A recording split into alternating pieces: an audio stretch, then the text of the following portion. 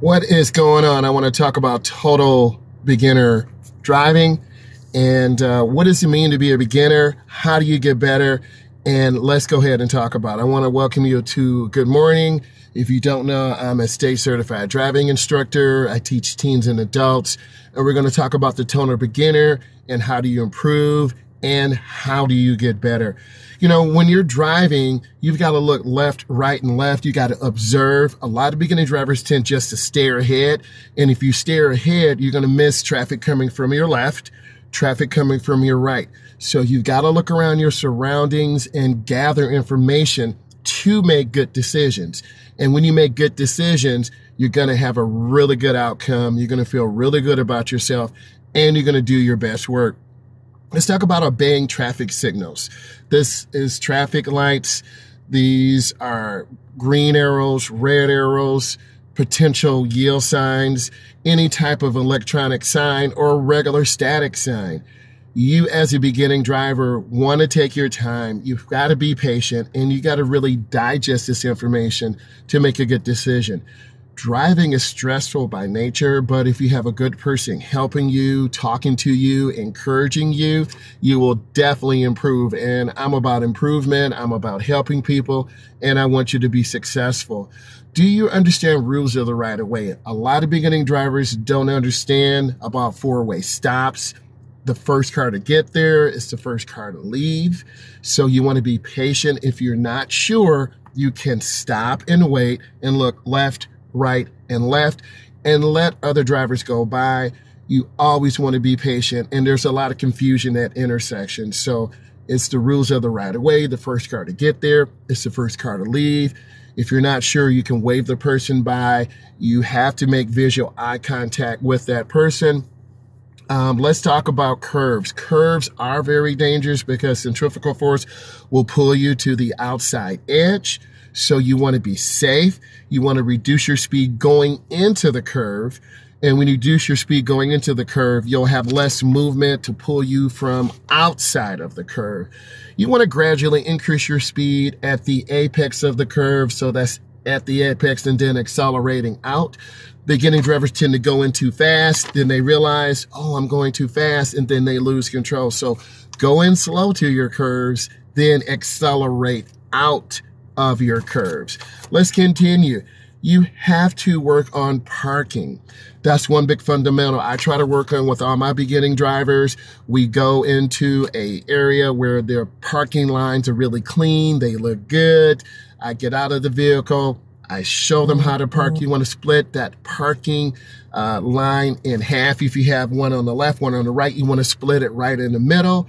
So you split it halfway and you go all the way up. We do angle parking, stall parking, reverse parallel parking. There is quite a bit. So, you know, I always want to refer you back to my tutorials. If you have questions, you can always leave questions. You got to maintain proper lane positioning. I have a video out right now where we talk about proper lane positioning. Beginning drivers tend to drift to the right because you haven't learned proper lane positioning. They tend to drift to the left sometimes. It's like walking down a hallway in high school. You want to look ahead as far as possible. You want to split those lines in half and you want to go up. You don't want to go up too far because you will smash the front end of your car on the curb, but you want to be in the position properly so you're safe. You want to do the best that you can.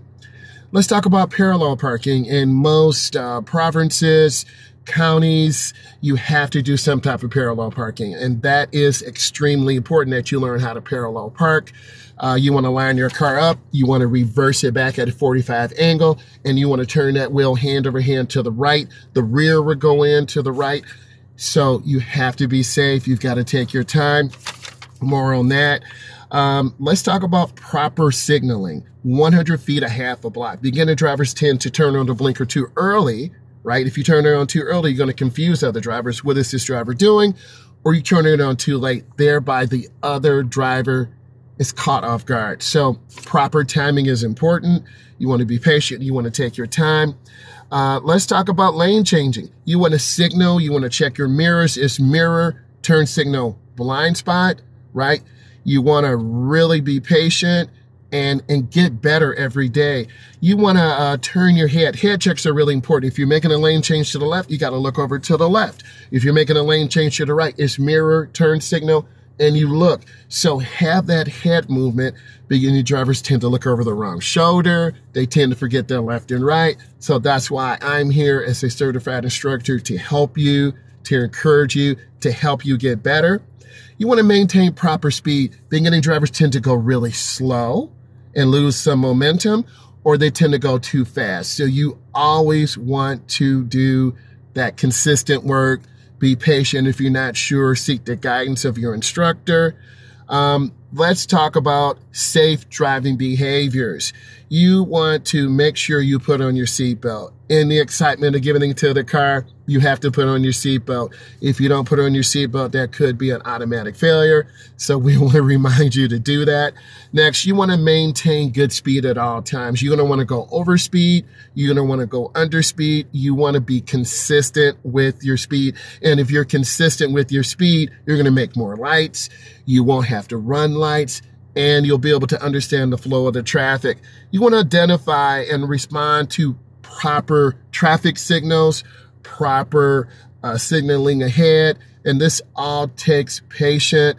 You always want to be aware, and you have to go at the speed limit. If you go too slow, you're holding up the flow of the traffic. You could potentially struggle and fail, get marked down.